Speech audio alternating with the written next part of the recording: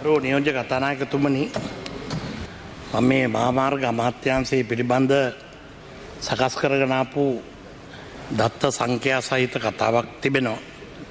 ඒටික ඔබතුමා හැන්සාඩ් වාර්තාවට හා සභාගත කිරීමට යොදාගන්න ලෙස ඉල්ලමින්. හොඳයි. මම කැමති මම බෙහිවින් ගරු කරන දීර්ඝ කාලීන පාර්ලිමේන්තු ක්‍රමය පිළිබඳ අත්දැකීමක් තියෙන අපි ආදරය කරන සිද්ධාත්තන් මන්ත්‍රතුමා අපේ හිටපු කාරක සභාපති නියෝජ්‍ය කතානායක අලික්කරාදන් අපේ සහෝදර මන්ත්‍රතුමාගේ එක එකතු වෙලා මේ මාමාර්ග ප්‍රවාණ දුම්රිය මාර්ග පිළිබඳ අදහස් කරපු කරුණ පිළිබඳ පැහැදිලි කිරීමක් කරන්න එක වැදගත් වෙයි කියල හිතන නිසා.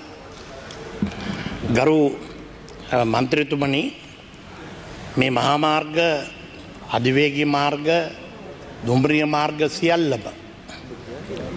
පසුගිය වර්ෂ කීපය තුළ ඉතාම නරක ලෙස කඩා වැටුණා. ඔබතුමා සඳහන් කළ පරිදිම බොහෝ මාර්ග ලක්ෂය වැඩපිළිවල යටතේ මාර්ග ලක්ෂයක් ආරම්භ කල්ල ගල් අතුරල ABC දාලා තරදාන්න නැතුව කාපට් දාන්න නැතුව තියෙන යාපනය ඉතරක් නෙමේ. සමස්ත ශ්‍රී ලංකාව තුළ එලෙසින් සියලූම මාර්ග කඩා වැටුණ. කොයිට් දාන මේ වසංගතයත් ආර්ථික අර්බූදය උග්‍රවීමත් ප්‍රතිඵලයක් ලෙස මාර්ග නඩත්තු හා සංවර්ධනය දුම්රිය මාර්ග මහාමාර්ග යනාදී සියල්ල ගරු මන්ත්‍රීතුමනි අපි කරලා තියෙන්නේ කාගේ ආණ්ඩුව තිබුණත් කවුරු ජනාධිපතිවරය වසයෙන් කටයුතු කළත් කවුරු ප්‍රමාණ ඇමතිවරයා මුදල් ඇමතිවරය ලෙස හිටියත් එක්දා සනමසී හැත්තාතයෙන් පස්සෙ මේ සියලූම කටයුතු කරලා තියෙන්නේ දේශයා විදේශය ණයවලින්. අපි කොතරං අකමැති වුණත් මූලික ආණ්ඩු ක්‍රම ව්‍යවස්ථාවේ එකසි හතලි සටවෙනි වගන්තියට අනුව රාජ්‍ය මූල්‍ය පිළිබඳ සම්පූර්ණ බලය තියෙන්නේ මේ ගරු සභාවට. නමුත් මේ ගරු සභාව විසින් කොතරං කීවත් මම එක්දාසනමසි අසූ නමේ පාර්ලිමේත්තුවට පත්වෙන අවස්ථාවේදී එමිටියස් බකීමාක අපේ මන්ත්‍රතුබා දන්නවා මගේ මංගල කතාවෙදිත් මං මේ අර්බූදය ගැන කිව්ව. ගරු කතානායක තුමනි ආණ්ඩුව කාගෙ තිබුණත් ඒ ආණ්ඩුවක් එදිනිදා පවත්තාගෙන යමේ කටයුතුවලදි දරනු ලබන දරණ වියද මේ ප්‍රතිඵලය වියදම දරණ කාලයට ඉතරා සීමා වෙන නැවත නැවතත් දැරියයුතු සූරූපය වියදංවලට කියන්න පුනරාවර්තන වියදම් රිකරන්ට එක්ස්පෙන්ඩිච. මොන වෙනස කරනවා කියලා මොන බොරුව කියලා බලයට පත් වනත් මේ රටේ නිදසින් පස්සේ තිබුණ ආණ්ඩුවලින් වැඩි ප්‍රමාණයකට විශේෂෙන් එදදා නමසේ හැත්ත හතෙන් පස්සේ බලයට පත්වෙච්ච කිසිම ආණ්ඩුවකට වර්තන ගෙනුමේ අතිරික්තයක් ඇති කරගන්න බැරිවුණ. ඒ කියන්නේ එදිනෙදා පවත්වාගෙනයා මේ ප්‍රධාන වියදම් වන රාජ්‍ය සේවක වැටුප් විශ්‍රාම වැටුප් රාජ්‍ය ණය සඳහා පොලි සමෘද්ධිය ඇතුළු අනිකු සානාධාර ගෙව්වට පස්සේ ආණ්ඩුව කාගෙ තිබුණත් එතනින් එහට සතයක්වත් බාණ්ඩාගර ඉතුරු වෙන්නේ. ඒනක හැම ආණ්ඩුවක්ම ඉතුරු ටික කළේ කොහොමද. හැම ආණ්ඩුවම ඉතුරු ටික කළේ මම්මාවත් විදුලිය ජලබස්රා ජලප්‍රවාණ ක්‍රම යටිතල පාසුකන් යන්ත්‍ර සූත්‍ර උපකරණ මිලදී ගැනීම් සියල්ල කළේ දේශී හා විදේශය වසයෙන් අයර. ගණ්ඩ අය ප්‍රමාණය මදි වෙනකොට ගිනි පොලියට වෙළඳ පොල්ට ගිල්ල ස්වයිරිත්ත බැඳුම් කර නිකුත් කරලා සවරින් බොන්්ස් ඉශූ කල්ල ණය ගත්තා. ඒකත් මදි වෙනකොට සල්ලි අච්චු ගැහ්ව. මේටික තමයි අපි රාජ්‍ය බූල්ල කළඹනා කරණය යටතේ අපි වරද්ද ගත්ත තැන ලෝක අනිත්‍රටවල්ලෝට හදාගන්න පුළුවන් වෙලා අපිට කරගන්න බැරිවෙච්ච එක ඒකයි. ඒ නිසා මම මේ සංඛ්‍යා දත්ත සහිතවම කියනවා නම් මගේ මතකෙන් ඔඩිට් කල්ලා අවසන් කරල ඉවර කරලා තියෙන ඉලක්කන් තමයි දෙදස් විසි දෙක අවුරුද්ධ. ගරු නියෝජ්‍ය කතානායක තුමනි දෙදස් විසි දෙක අවුරුද්ධ මේ විරෝධතා උද්ඝෝෂණ රටහැරයාම් සියල්ල මැද්දේ පටවන්න පුළුවන්. උපරිම බදු බර ජනතාව මත පටෝල. ලබාගෙන තියෙන බදු ආදායම කියද? බිලියන එක්දා සස්සිය පනස්ස එකයි. එකයි හතයි පහයි එකයි.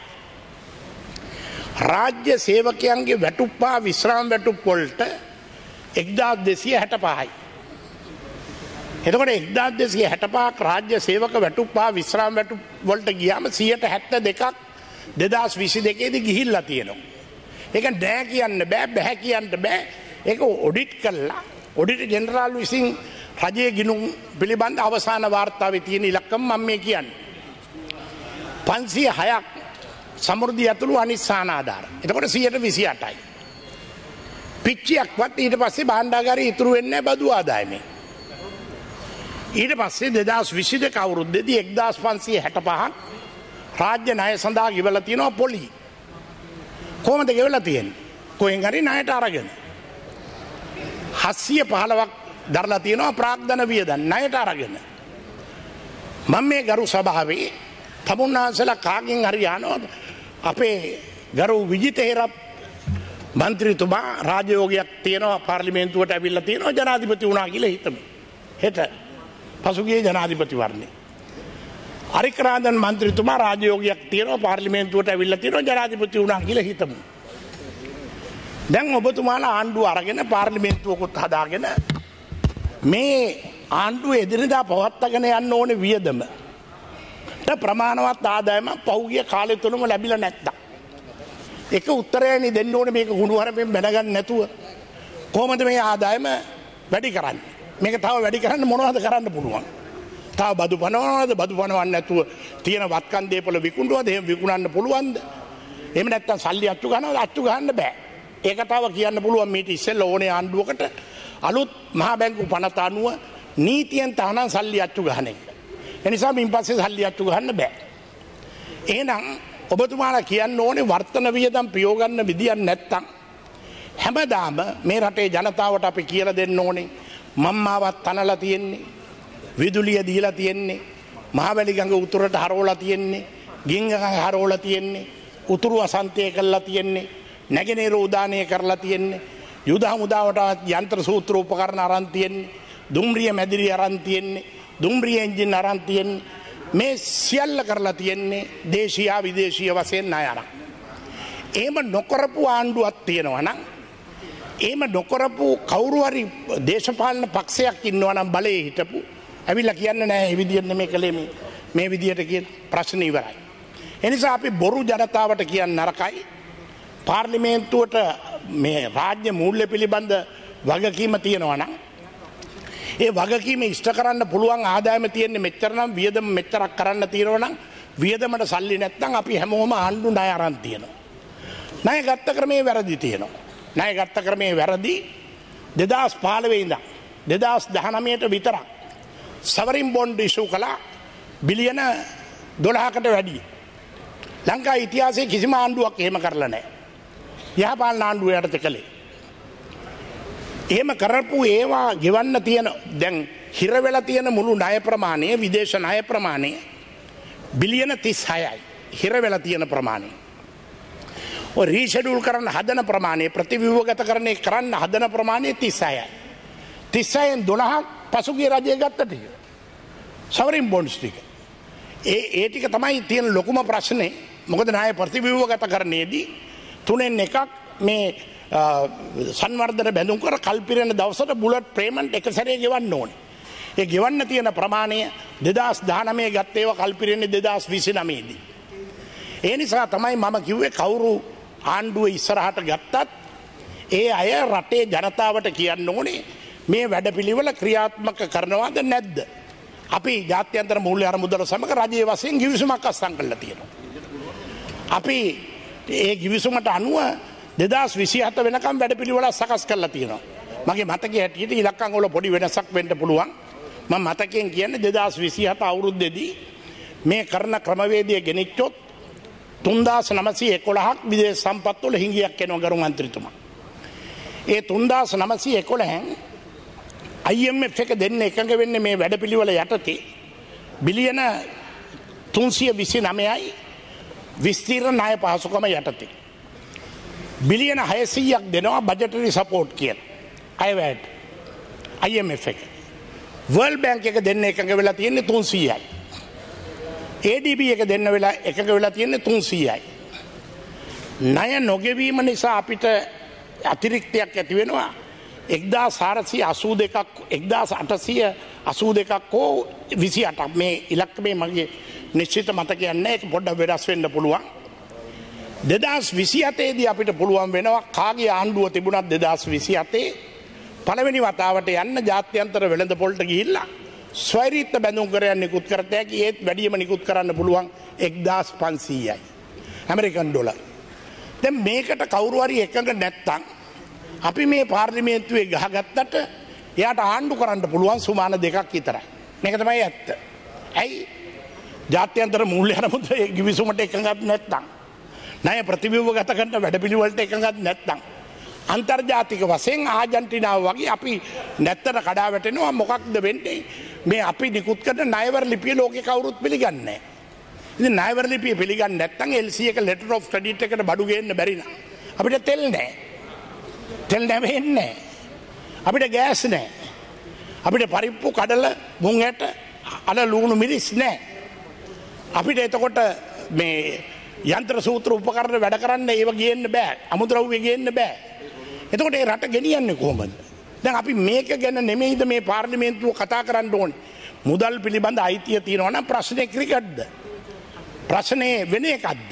නෑ ගරු සිද්ධාර්ථ මන්ත්‍රතුමා කිව්ව කතාව සම්පූර්ණ ඇත්ත. එතුමාගේ පරවල් එකක්වත් හදල නෑ. හදල නැත්තේ මොකද. මම තරම් මේ ප්‍රශ්නයට බැනුම් හලනය කිසි කෙනෙක්.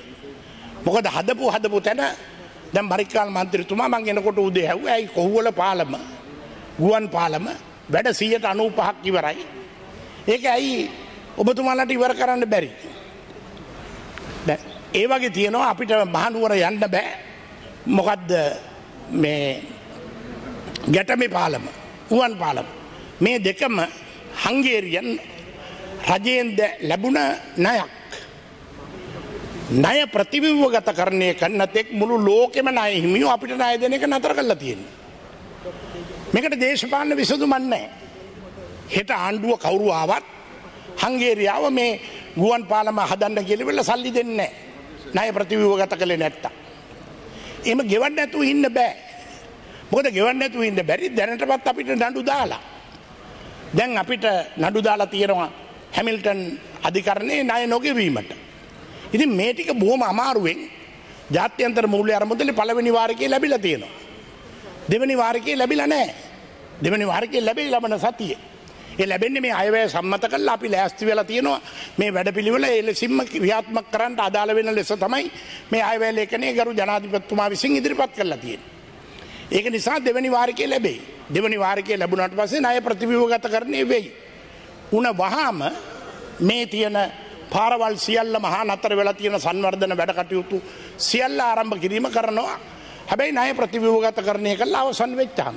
එතකොට ඒ ගිවිසුම ක්‍රියාත්මක කරන්න මේ ආණ්ඩුවෙන් අපි සියලු දෙනාමත් මේ පාර්ලිමේන්තුවේ විපක්ෂේ ඉන්න ආණ්ඩුව කවදහරි දවසක ගන්න ඔබතුමාලා සියලු දෙනාමත් වගකීමට බැඳෙනවා. ඒක නැත්තන් නෑ කියලා ලෝකෙට කියන්න.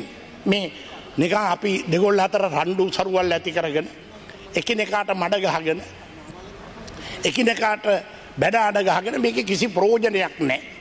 මේක තමයි ඇත්ත මේ ඇත්ත රටට කියන්න අපි ඔක්කොම සියලු බං සම්පූර්ණයෙන් පිළිගන්නවා පාරවල් නතර වෙලා පාලන් නතර වෙලා අවශ්‍ය ප්‍රමාණයට දුම්රී එන්ජින් දෑ රේල් පීලිටික ගන්න සල්ලි නෑ. රේල් පීලිටික ගන්න සල්ලි නැතුව ආසියානු සංවර්ධන බැංකුවෙන් බොහොම අමාරුවෙන් ණය මුදලක් ලබාගෙන තමයි පීලි දාදහක් ගෙනාව. දුම්රිය ලොකොමෝටිවස් ගත්තොත් දුම්රිය මැදිරි අවුරුදු හැට හැත්තෑව පරණයි. අපේ ගරු අබේසිංහ මන්ත්‍රතුමා ඉතාම උනන්දුවෙන් මේ දුම්රිය ගැන බැලුවා. නමුත් එතුමත් දන්නවා දුම්රිය එන්ජින් එකක් ගන්න බෑ හැමදාම දුම්රිය එන්ජින් මැදිරි අරන් තියෙන ණයට. දැන් කවුරුවත් ණයට දෙන්නේ නැහැ.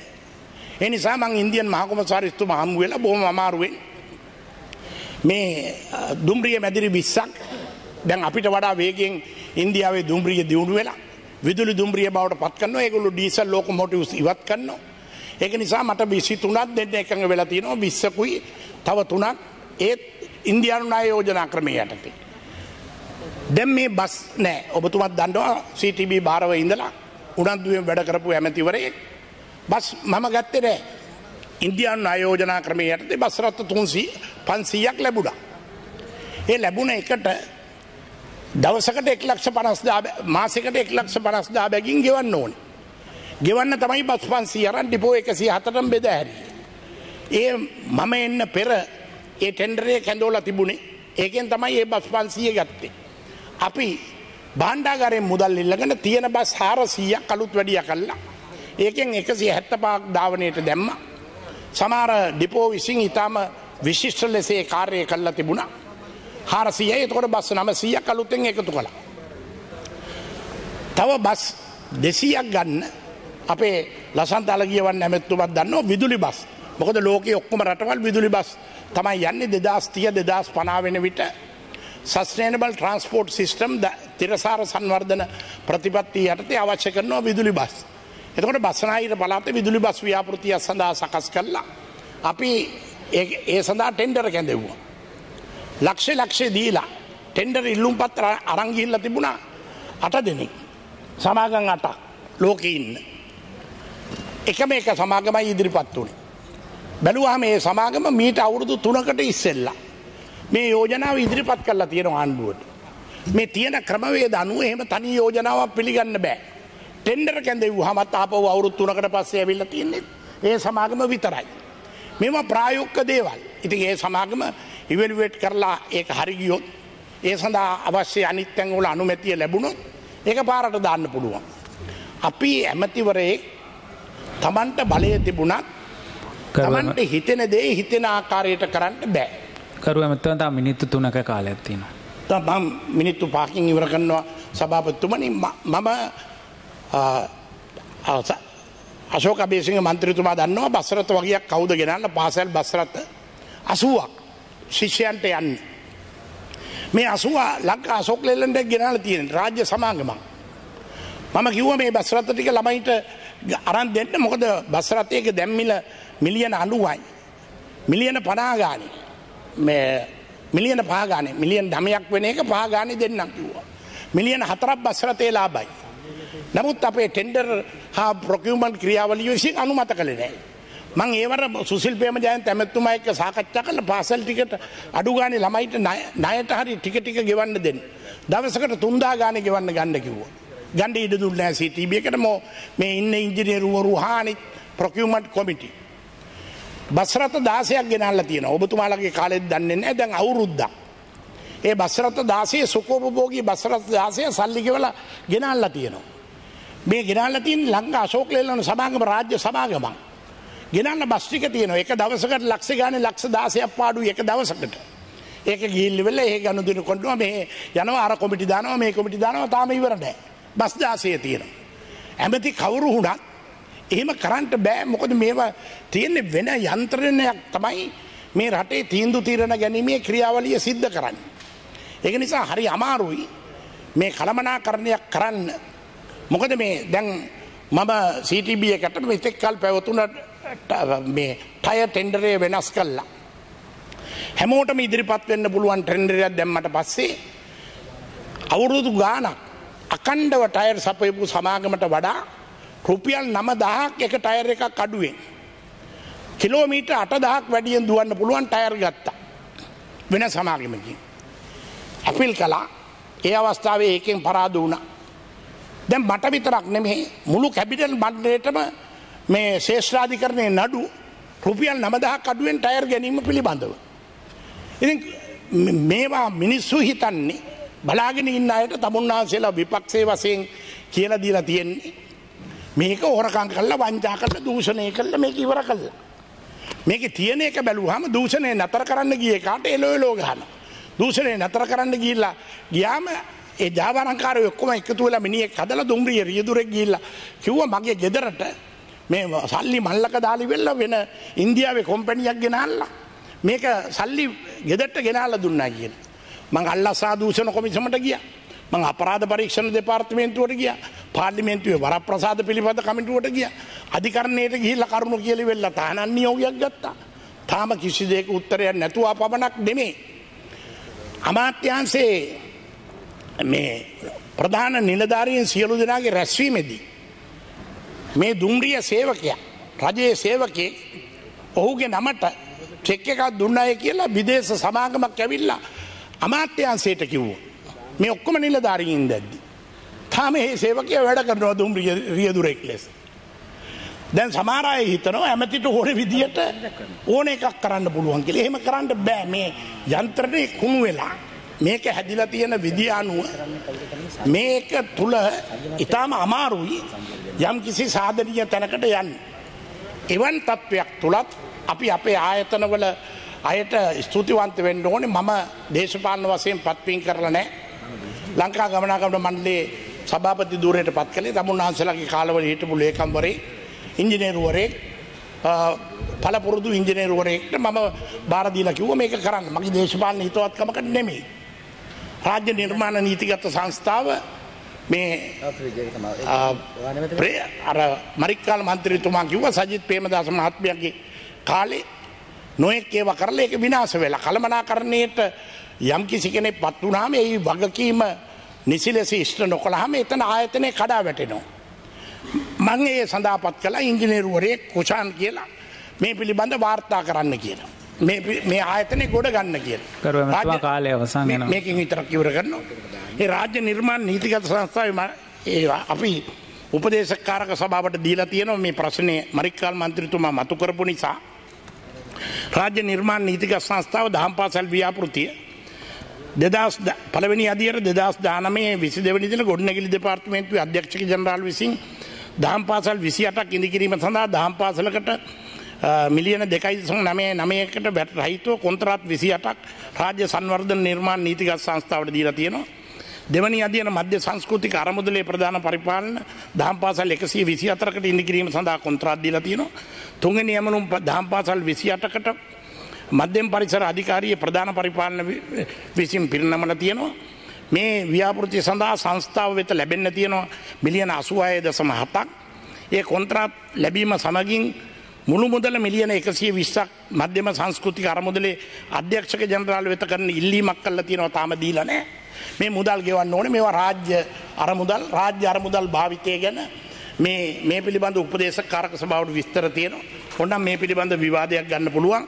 මට මේ කරුණ පැහැදිලි කරන්නට යෝනුනේ මං ඒ නිසා අපේ සිද්ධාර්ථන උගත් ඇමැත්තුමා ඉතාම හොඳ අදහස් ගණනාවක් කළ අපි යාපනයේ පාර සම්පූර්ණයෙන් ගලෝලා අනුරාධපුරයේ සිට ඕමන්තය දක්වා අලුත් වැඩිය කළ. ඉන්දියන් නයෝජනා ක්‍රමේ යටතේ පෑට කිලෝමිට විස්සක් යන්න පුළුවන්. එතුමා සඳහන් කලා තව කංක සන්තුරයට මං අලුත් දුම්රියක් යාපනය ඉදං පටන් ගත්තා. ඉතිරි දුම්රිය මාර්ගයක් ජනවාරී ඉඳන් ගලෝලා ඒ ටික හදලා දෙනවා. මේ සියල්ල කරන්න පුළුවන් වෙන්නේ ණය ප්‍රතිව්‍යුහගත කරණය කිරීමෙන් පසු.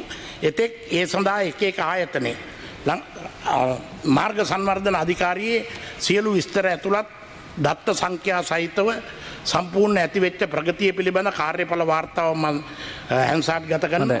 ලංකා ගමනාගමන මණ්ඩලේ කාර්යඵල වාර්තාව මන් සභා ගත කරනවා මෝටරත දුම්රිය දෙපාර්තමේන්තුවේ කාර්යඵල පිළිබඳ වාර්තාවම සභාගත කරනවා. මෝටරත ප්‍රවාණ කොමසාරි දෙපාර්තමේන්තුවේ වාර්තාවම සභාගත කරනවා. ජාති ගමනාගමන කොමිසු සභාවේ වාර්තාවම සභාගත කරනවා. කොළඹ මහා කොළඹ ප්‍රවාණ ජාල වැඩි දියුණු කිරීමේ ව්‍යාපෘතිය පිළිබඳ වාර්තාවක් සඳහන් කරනවා. විවිධ අභියෝග යටතෙත් මේ විශාල අමාත්‍යන්සේ මිනිසුන්ගේ ජනජීවිතයට සම්බන්ධ CTB CGR.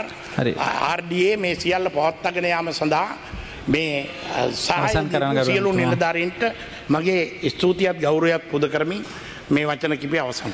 බොහොම ස්තුතියි කරුව මැතිතුමනි.